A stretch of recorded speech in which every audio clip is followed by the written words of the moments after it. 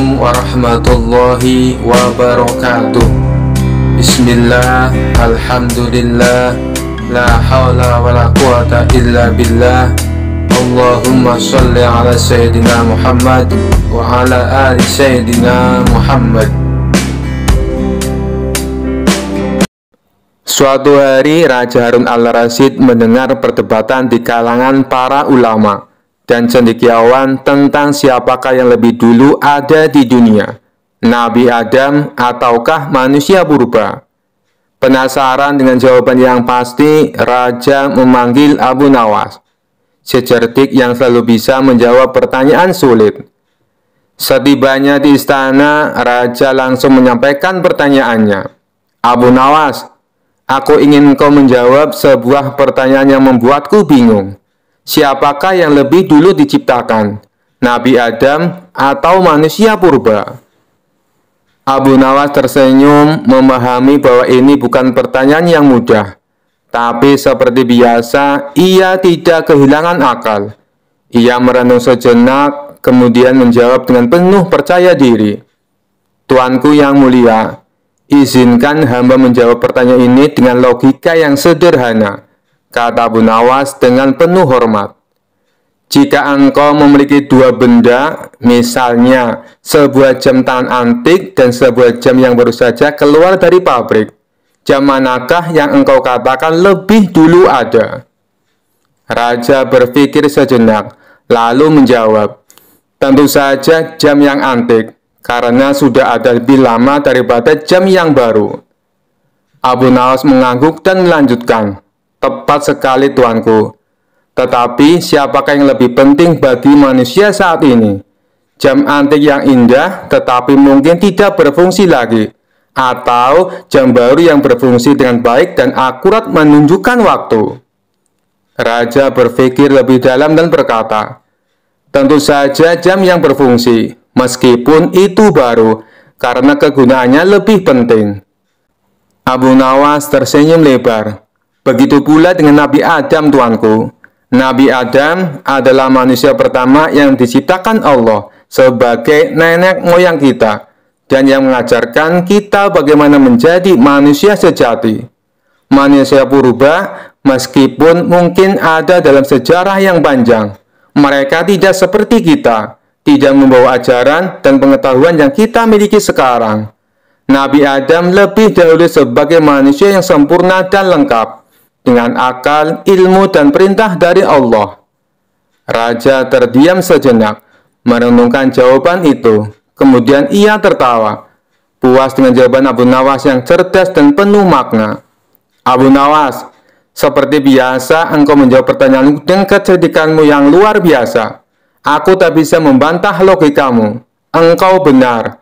Nabi Adam lebih dahulu sebagai manusia yang kita kenal dan manusia purba hanyalah bagian dari sejarah yang jauh dari kita sekarang. Abu Nawas tersenyum lalu berkata, Terima kasih tuanku, hamba hanya menjawab dengan cara sederhana yang bisa dipahami oleh akal dan hati.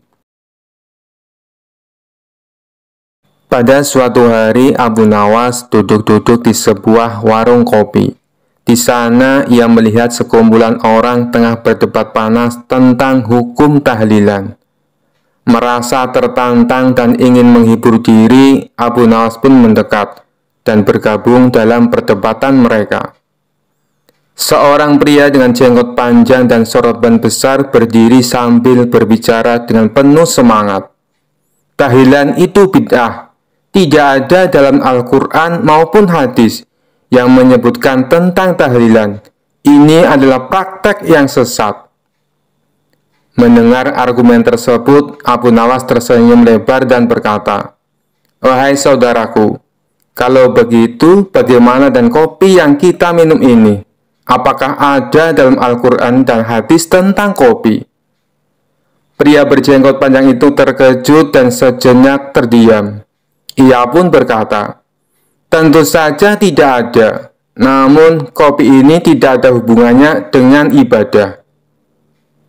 Abu Nawas tertawa kecil dan menjawab, Nah, begitu pula dengan tahlilan.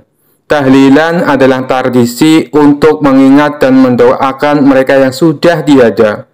Seperti kita minum kopi untuk menghangatkan diri dan bersantai. Tahlilan menghangatkan hati dan mempererat silaturahmi. Seorang pria lain yang duduk di sebelah pria berjenggot panjang kemudian angkat bicara. Tapi Abu Nawas, bukankah tahlil itu mengada-ada dalam agama? Bukankah lebih baik kita berpegang pada yang pasti saja? Abu Nawas mengangguk bijak dan berkata, Benar saudaraku, namun dalam setiap perbuatan yang terpenting adalah niat dan manfaatnya. Jika kita niat baik dan hasilnya membawa kebaikan, bukankah itu sejalan dengan ajaran agama kita? Lalu Abu Nawas melanjutkan, lagi pula, coba bayangkan, jika orang-orang tidak boleh berkumpul dan mendoakan bersama-sama, siapa yang akan menghabiskan kopi di warung ini? Dan siapa pula yang akan membantu ibu penjual kue di sebelah sana? Semua orang yang mendengar tertawa terbahak-bahak. Perdebatan yang semula panas menjadi cair dengan humor Abu Nawas. Mereka mulai menyadari bahwa terkadang perbedaan pendapat dapat dijembatani dengan hati yang lapang dan sedikit tawa. Pria berjenggot panjang itu akhirnya tersenyum dan berkata, Abu Nawas, kamu memang pintar membuat suasana menjadi lebih ringan. Mungkin memang benar, yang terpenting adalah niat baik dan manfaatnya. Suatu hari Raja Harun al-Rasyid merasa penasaran tentang suatu hal dan memanggil Abu Nawas ke istana. Seperti biasa, Abu Nawas datang dengan rasa waspada karena ia tahu bahwa Raja sering kali melontarkan pertanyaan-pertanyaan sulit. Kali ini Raja menatap Abu Nawas dengan tajam dan bertanya, Abu Nawas, aku ingin tahu apa tujuan Allah menciptakan ayam. Abu Nawas yang terkenal cerdik berpikir sejenak. Ia tahu bahwa jika jawabannya tidak memuaskan, raja bisa saja marah. Setelah beberapa detik merenung, Abu Nawas tersenyum dan berkata, Tuanku yang mulia, Allah menciptakan ayam untuk tiga tujuan yang luar biasa. Raja Harun al-Rashid penasaran dan mendesak Abu Nawas untuk melanjutkan jawabannya. Apa saja tujuan itu Abu Nawas? Tanya Raja. Abu Nawas dengan percaya diri menjawab, Pertama, Allah menciptakan ayam untuk memanjakan lidah manusia. Daging ayam itu enak dimakan, baik dipanggang, direbus, ataupun digoreng. Siapa yang tidak suka makan ayam? Raja mengangguk, mengakui kebenaran dari jawaban itu. Lalu, apa tujuan kedua? Tanya sang raja. Kedua, lanjut Abu Nawas. Allah menciptakan ayam agar kita bisa belajar tentang waktu karena ayam jantan berkokok setiap pagi. Mereka membantu kita bangun untuk menjalani hari dengan penuh semangat dan tidak terlambat melakukan tugas-tugas kita. Raja kembali tersenyum dan merasa terhibur dengan penjelasan Abu Nawas. Itu masuk akal. Lalu, apa tujuan yang ketiga? Abu Nawas menyadari bahwa inilah saatnya memberikan sentuhan humornya. Dengan ekspresi serius, ia menjawab, dan yang ketiga, Allah menciptakan ayam agar kita semua bisa mendapatkan telur dengan mudah. Telur sangat bergizi, dan tanpa ayam, bagaimana kita bisa sarapan dengan telur? Raja Harun al-Rasyid tertawa terbahak-bahak mendengar penjelasan Abu Nawas. Suatu hari, Raja kembali memanggil Abu Nawas ke istana untuk memberi perintah aneh lagi. Raja yang terkenal suka menguji kecerdikan Abu Nawas tersenyum licik dan berkata, Abu Nawas, kali ini aku punya tugas sangat penting untukmu. Abu Nawas sudah mencium gelagat tak biasa, menjawab dengan hati-hati. Apa tugasnya tuanku? Raja dengan suara lantang berkata, Aku ingin kau pergi dan mencari ujung bumi. Bawa aku laporan tentang apa yang ada di sana Jangan kembali sampai kau menemukannya. Abu Nawas yang tahu bahwa perintah ini jelas-jelas mustahil, pura-pura terkejut. Tapi seperti biasa, ia segera berpikir cepat. Dengan wajah serius, Abu Nawas menjawab, Baik, tuanku. Hamba akan mencari ujung bumi, tapi hamba butuh beberapa persiapan. Raja mengangkat alis penasaran. Apa yang kau butuhkan kali ini, Abu Nawas?